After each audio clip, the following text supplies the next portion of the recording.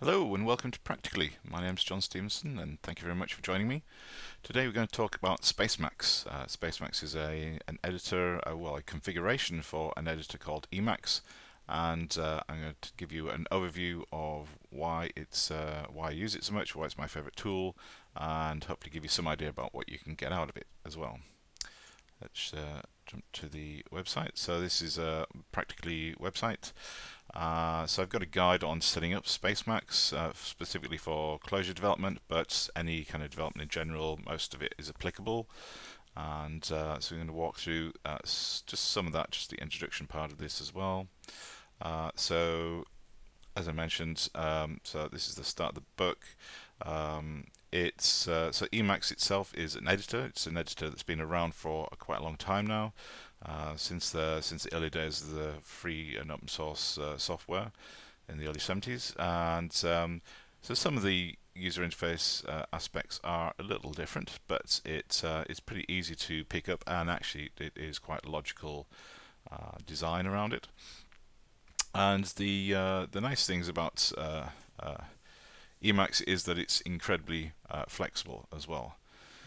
Uh, so if we actually have a look at the uh, Emacs website, uh, so it, its main purpose is to be an extensible, customizable, uh, and free, uh, as in uh, a completely open source free software editor. And it is um, really, and it's obviously available on all the different platforms, including Windows. And um, it is a very nice editing experience. In fact, it's so rich that people often refer to the, uh, Emacs as an operating system, and uh, because you can pretty much do like, almost anything you can think of digitally, you can do in Emacs. Um, so obviously there's all the HTML editing, so you've got the context-aware uh, editing modes, uh, all the code highlighting, syntax highlighting uh, for pro probably the the biggest range of uh, languages that you've ever uh, that you know, and, and even lots of languages that you've never heard of as well. Uh, and uh, all the documentation is built in, so it's very easy to kind of see that. It's Unicode support, so you can have all sorts of different characters in there. You can even include um, emoticons as well. Um, it's highly customizable, uh, and this is uh, being borne out by just the amount of packages that are available. So there's a huge amount of packages uh, available as well. So it's all customizable through uh, something called Emacs Lisp, and if you're a Clojure developer, then there's a lot of commonality between Emacs Lisp and Clojure. They're, they're both Lisp languages, and uh, so you should be able to pick up uh, uh and be able to edit uh, and play around and experiment with the configuration of Emacs really, really simply. Um, it's uh, instead of defn, it's defun, but there's and there's some specific um, Emacs APIs to learn but the actual structure of the language is, is pretty similar. Uh, as I mentioned, there's a huge amount of packages available as well. Uh, so Melpa is the is usually the uh, package management uh, repository that everybody uses. Um, it's got all the latest packages, so it's got over yeah uh, five uh, four thousand packages available. I've had 91 million downloads to date, so you can see that Emacs is definitely still used by huge amounts of people across the world and um, it's uh, but how do you actually tap into all this power uh, all these packages? There's an awful lot which how do you know which packages to use which ones work well together and so on. This is uh, this is kind of a challenge of uh, yeah of using Emacs. Uh, it gives you this massive amount of uh, customization but then you have to go and figure out how to set it all up and tweak it and so on. So people do spend and invest a lot of time into customizing uh, Emacs, which is great. It gives you a very highly tailored experience, and you can get Emacs to do pretty much exactly what you wanted to do and how you wanted to do it. It does take a little bit of time, uh, and so rather than spending time configuring editor, you can actually use uh, a, a community package like uh, Spacemacs. So Spacemacs is a community-driven uh, Emacs distribution. So it doesn't include Emacs itself. Oops. It uh, it is a a configuration or a set of configurations for Emacs. So you would down download Emacs uh, and then add Spacemacs on top of it, and it would basically save you an awful lot of time uh, like configuring uh, Spacemacs to do uh, Emacs to do things, and uh, it's it does allow you to give like a shortcut of having a, a very rich experience uh, without having to do a lot of the work. You can rely on the like experience of the community to set things up in a way that um, has pretty good uh, actual like common defaults for a lot of the uh, environments because people are contributing uh, the changes that they they're actually doing, the changes that they've added to Emacs um, as they're using it and contributing back to Spacemacs uh, to, uh, to yeah to make it uh, yeah great a great experience for everybody. And so some of the specific uh, features of, of Spacemacs is this idea of um, ergonomics. We want to make it uh, as easy to use uh, Emacs as possible. And one of the things that they do is uh, have something called a mnemonic menu system. So if we click on the second image so down here we've got a a which key menu. Uh, so when you press space this menu appears. And uh, as you can see the application if you want to go into applications it's under A buffers are under B windows are under W and you can toggle things off uh, with T. And so it's very consistent kind of all the way through whatever language you're using whatever like features you're using of spe uh, Spacemacs I try and have this very mnemonic way of uh, uh, like creating keyboard bindings for uh, all these functions because there are like thousands of functions you can actually call.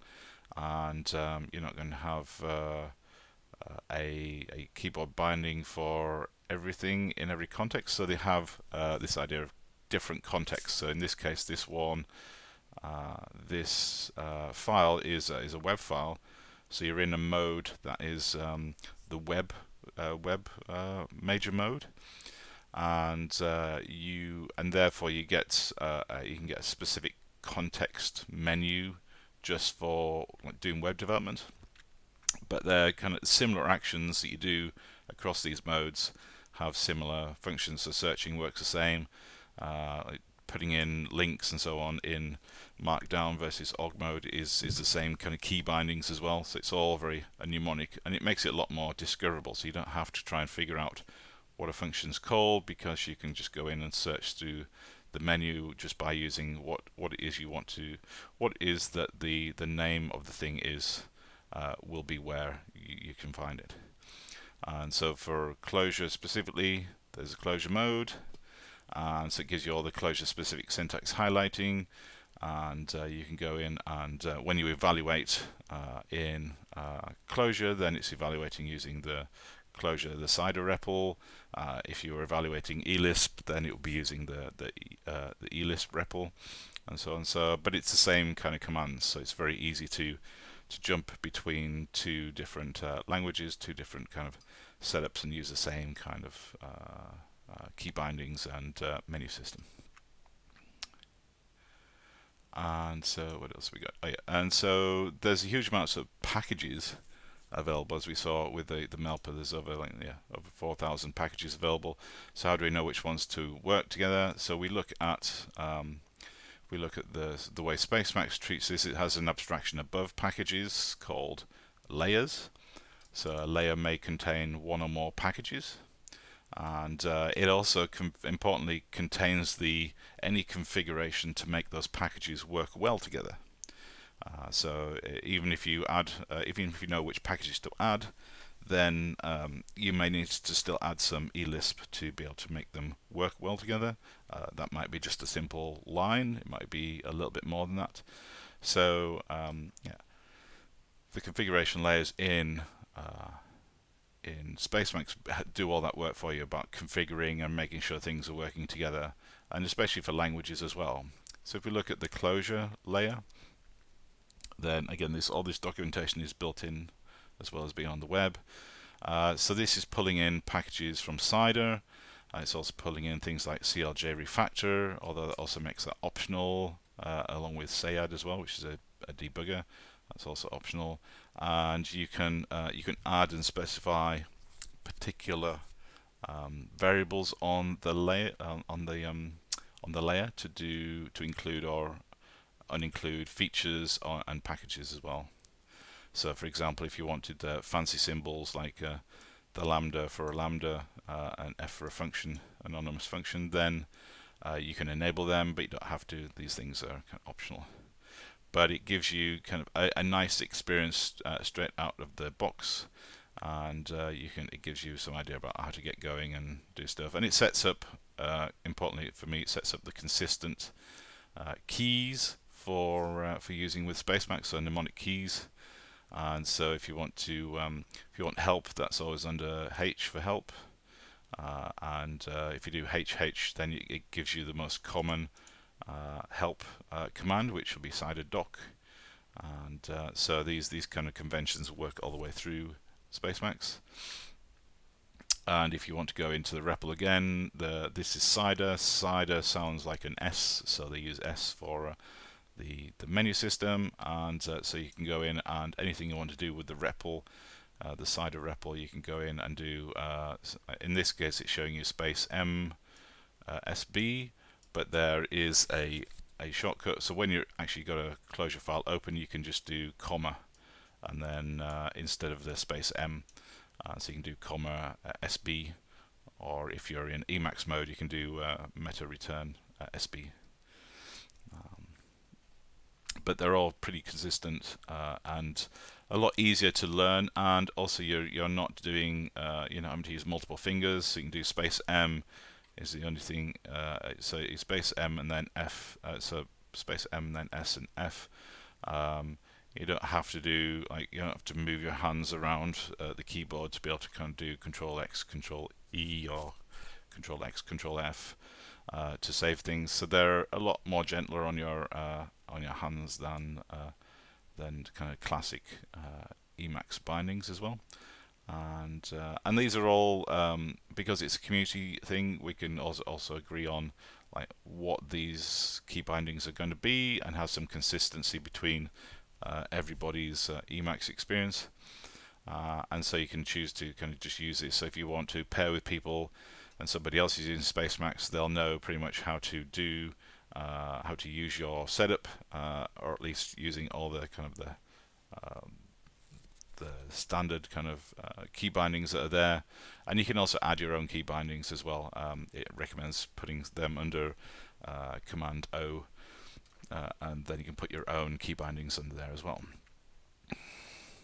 And one of the other things that Spacemacs also brings is uh, it brings Vim, and this well this Vim style editing uh, of multimodal editing. So you can also again manage uh, the the complexity of your key bindings and also have a, a lot more functions with key bindings by having uh, the multimodal uh, experience. So uh, in normal mode if you type uh, if you type F it's actually going to find a find the next character rather than actually type in F as a character uh, because the, in normal mode you're you're you're actually kind of working with the overall text. You're not working with uh, you're not creating uh, text. You're not creating content. You're actually just uh, manipulating and reorganizing the the text around there. So you can have a, a much wider range of uh, of key bindings there. And if you want to actually edit the the text, you can go into insert mode and you can add content. You can delete content very simply as well and so you get different modes allow you to do different things. Visual is for like selection, and iEdit is for doing things like multiple curse, multiple cursors, be able to uh, like do really some really advanced editing as well. Uh, and it gives you this whole language of like Vim gives you this whole language of being able to manipulate text really really simply. So you can actually um, you can re-edit, you can refactor, you can even do some basic structural editing uh, using Vim as well. And uh, it allows you to yeah basically basically wrangle your text uh, a lot faster I feel than uh, than than without Vim. And anything else? So that gives you a pretty good uh, overview of uh, Clojure so next video we'll go through uh, sorry gives you so that gives you a very nice overview of Spacemacs and Emacs I hope. And this book will kind of show you and guide you through how to use uh, the, lots of features of this book. Uh, and um, and so this book will give you a, a nice guide in how to use uh, Spacemacs and get the most out of it for Clojure development. I've also got an example uh, Spacemacs configuration file there as well, which I keep up to date, and um, it will give you, uh, yeah, I think it, it does take a little bit of time to to learn all the features and get the most out of uh, Spacemacs, but that's the same for any tool. But I think given the fact that you've got a, a nice menu system uh, and things are very easy to discover, then you don't have to learn everything all at once. You can maybe spend the first couple hours uh, to get familiar with the environment and get going, and then learn everything else as you go along. Uh, I don't think it takes more than an hour or two to actually learn, and not even that really, to learn uh, enough of Spacemacs to be able to be very productive uh, quite quickly. Uh, okay, thank you very much for watching, and uh, in the next video we'll show you how to actually set up uh, Spacemacs and and configure it for Clojure development. So thank you very much for listening. Thank you. Bye bye.